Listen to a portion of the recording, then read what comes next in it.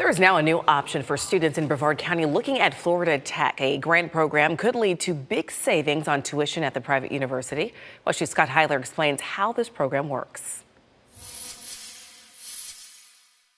They call it the Brevard Boundless Opportunity Grant. It started just a few weeks ago. And it could mean the difference to some students in the county on being able to afford attending Florida Tech even though a student may be Bright Futures eligible, so they get great state funding to go to a private university, there's still a gap, right? You know, there's still an affordability gap.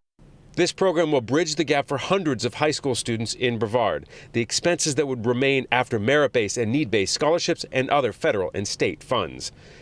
And could mean that some students will have all tuition and fees covered. So it gives us that variability in the financial aid office to be able to say, hey, we're going to get this person to full tuition, and so they can attend and know that you know it's an op- it's an option to stay in county and then get a job in the county. With the booming aerospace industry here on the Space Coast, Florida Tech and other universities looking to tap the local talent pool as much as possible, this grant will help with that.